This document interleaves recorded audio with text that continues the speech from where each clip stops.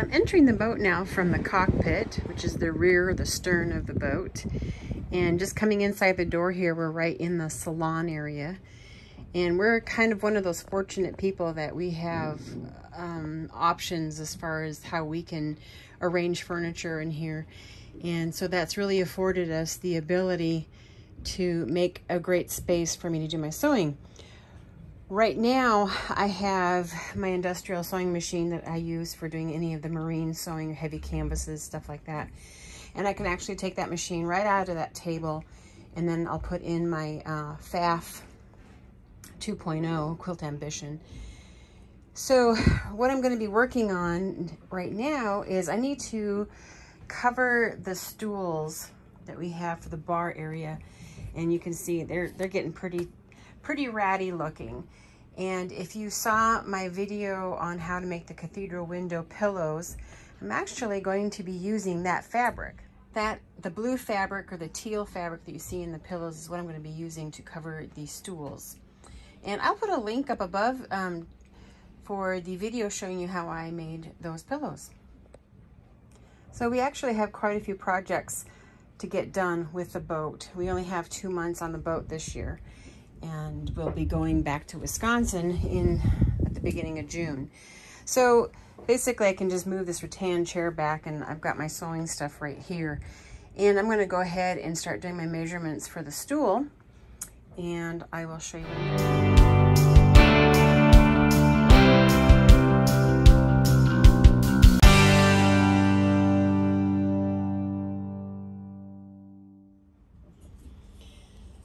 Going to be doing first is measuring the diameter of this circle.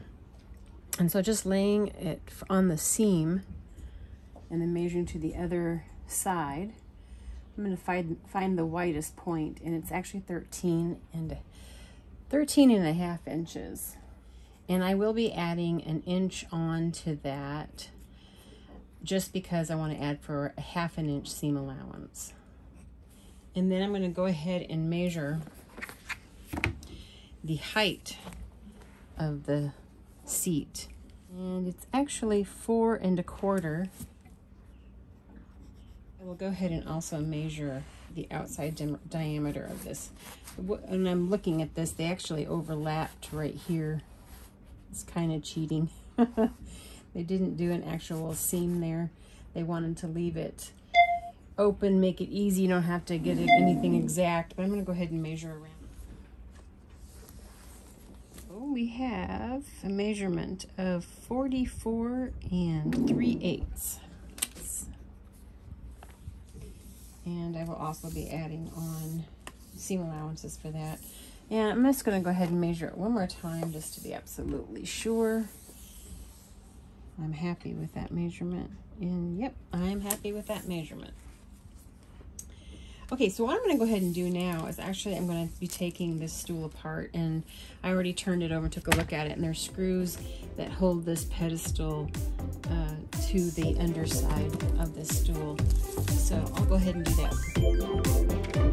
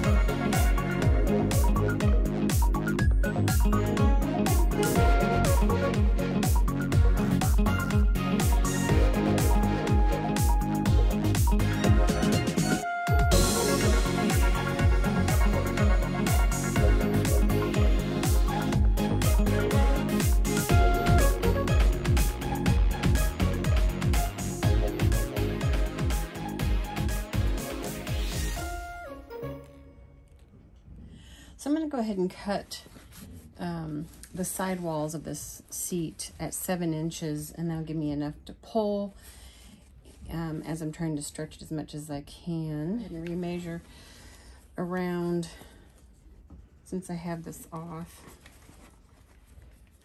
and see what I have for the length.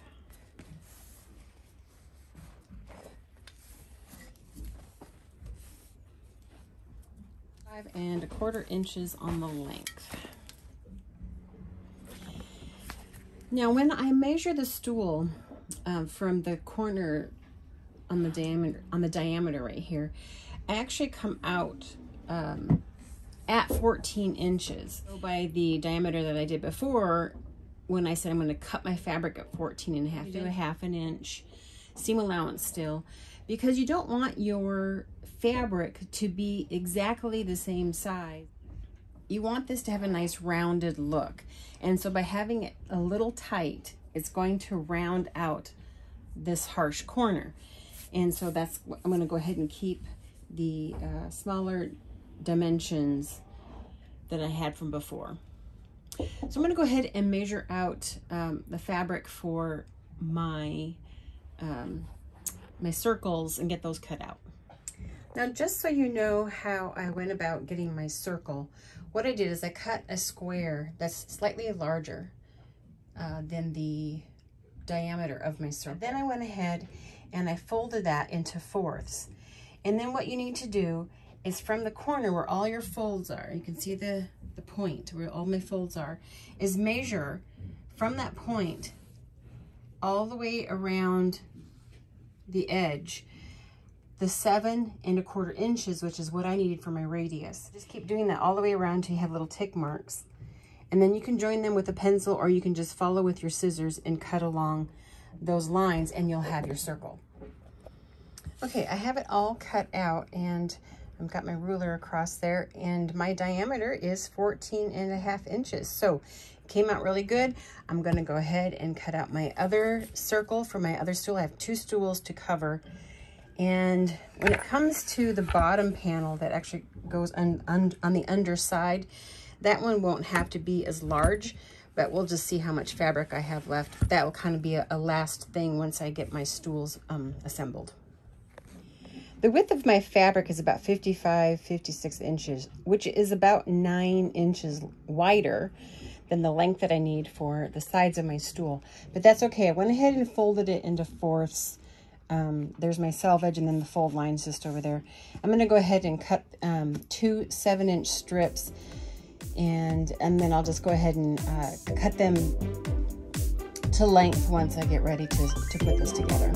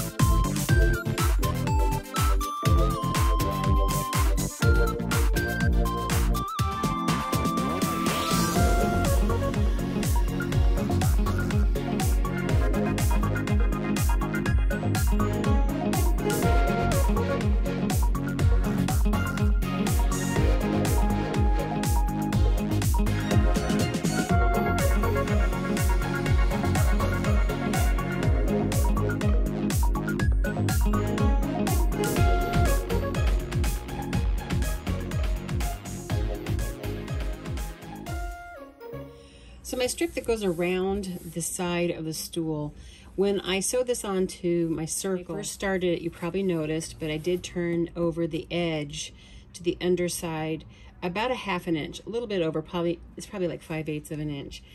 And then, then this piece just sews right over it, and then you have a good overlap. So basically now it's all about um, stapling this onto the stool.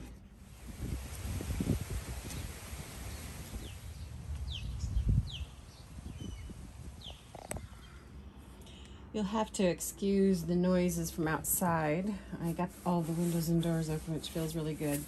So I'm gonna go ahead and stretch this now and get it stapled on the back side. And so what I'm gonna do though, though, I do wanna pull it pretty tight because I wanna round the edges over more. And so by pulling tightly, that'll do that, give it a nice rounded look. And I tend to like to work across from the last place that I worked. So I'm pulling everything evenly. And since this is the seam right here where he started, I'm gonna go ahead and actually pull on that uh, quarter inch size staples. And yeah, that's going in really well. So, um, and because this is turned under about a half an inch, I want to make sure that I'm doing that all the way. You can see it's a nice turned over edge right there. I'll pull it really tight. So directly across from where I just stapled it over there, I'm going to now do the opposite side and staple here. So I'm going to kind of work in quadrants and then keep dividing that down. So I will pull this section up and staple that.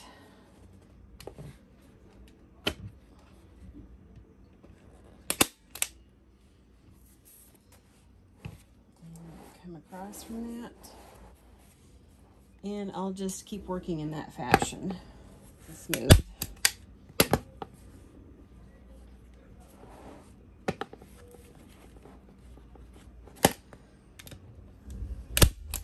Whenever you're pulling fabric for upholstery work like this, you want you want to be sure that you leave plenty of fabric when you cut your piece. Leave plenty of fabric to um, pull on. And then once I get this all stapled, I will trim this back and have a really nice, neat finish to it all it just gets to the point where all your sections are pretty close together. So I just go ahead and just work my way around now until I get it all pulled very evenly.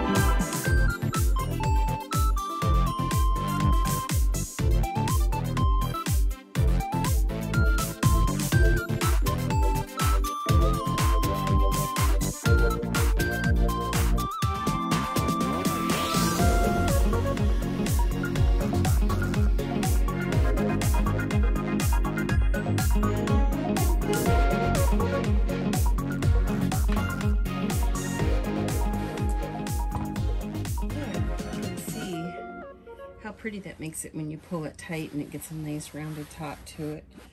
Nice tight fit. So what I'm going to do now is I'm going to take my scissors. I'm going to trim this down closer to the staples. This is the plate that goes on top. And this actually will have fabric on it as well. And um, give it a nice pretty look. You won't see the wood, it'll be completely covered. So I'll go ahead and get my piece trimmed here and and then I need to cut a piece of fabric for that as well.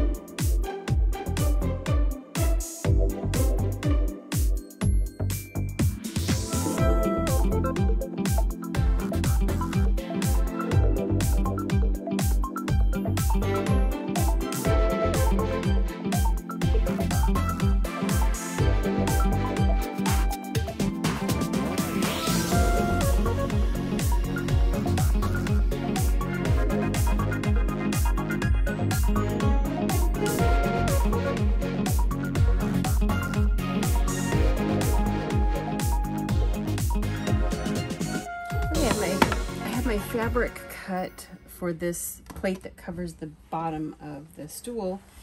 And I have a good three inches overlap. And so what I'm going to be doing with this is just exactly the same as I did with the other piece is just working you know, uh, straight across from each other, straight across, and dividing it into fours, eights, whatever you need to do, and working evenly.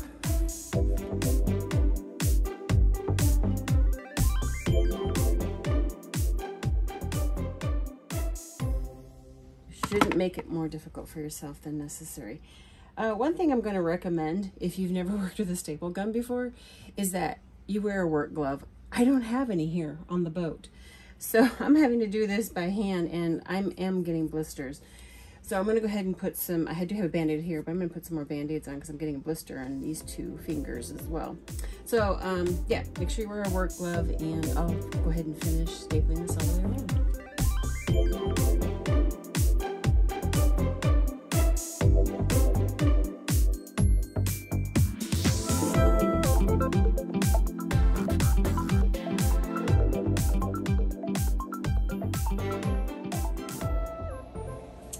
Right, I got the first stool finished, all put back together.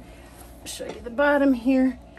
There is the bottom, all the screws are in, has a very nice, neat finish. Looks good from the top and from the bottom. All right, so I'm gonna go ahead and get started on the second one, and I'll show you the pair all finished.